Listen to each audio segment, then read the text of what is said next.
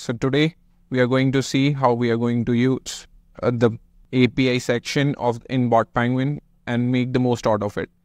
So to use your API, you need to go to the developer section inside your Bot Penguin account and navigate to the yours API section.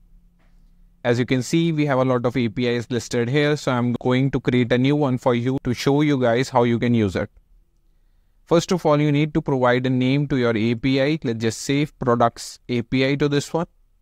And then you need to provide a API URL. So for the demo purposes, we'll be using a fake products API. You paste the product uh, API URL here, and then you just click on test for the purposes. You'll see that the response that the API has written all is logged in your response section.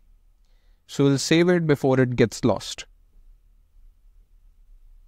Now, to navigate through the API component completely, this is the parameters section. Parameters section is basically used to append variables in the URL.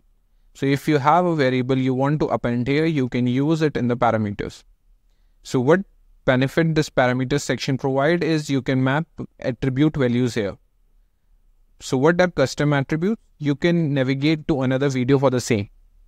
So these uh, uh, this was about the parameters. If you want to pass some values in the headers, navigate to the headers tab and then pass same the values here. Here, even here, you can map the custom attributes that you want to map.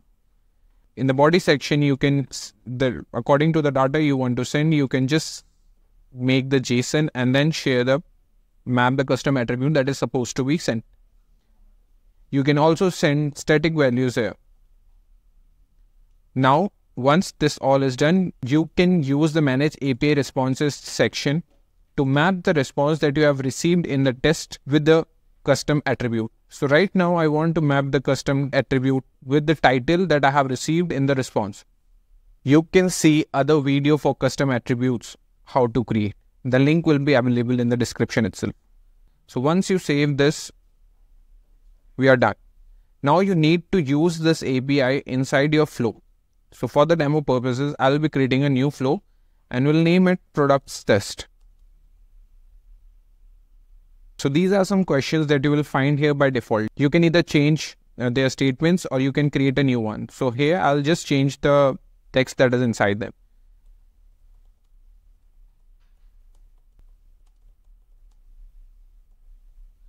Now the next component I want to use is the name component. I want I want the user to tell their name. So this is the question that is predefined. I'll use the same. Now inside, now to use the API component, you can navigate to the request information tab and use the click on the API component. Once you click on it, you will see fields populated on the right side of the panel. You can choose the API you want to execute while this flow is in play. Now uh, coming to the next part of the API component, uh, if the API responds with a 200 response status code, uh, you can select the next message you want the user to be directed to. So let's just say I'm directing the user to let's try your bot and I'll change the text for this statement.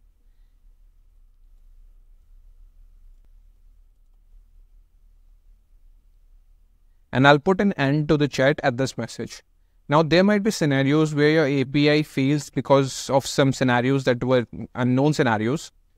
So what you can do is you can redirect to another message. So let's just say we start asking the user about their how was their day going.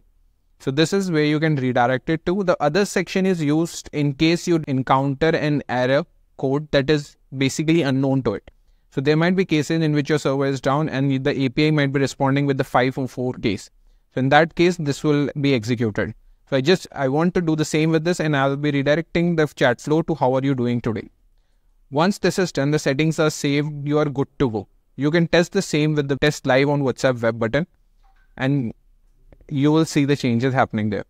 To check if your API is ex being executed correctly or not, you can go to the developers section again.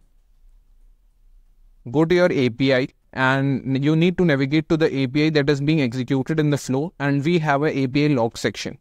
So here all the logs are being listed and you can check what was the status of the API that was executed. Along with it, there is a status code that is shown that will help you to identify what was the issue if the API was not executed correctly. Thank you for your time and hope you have a good day ahead.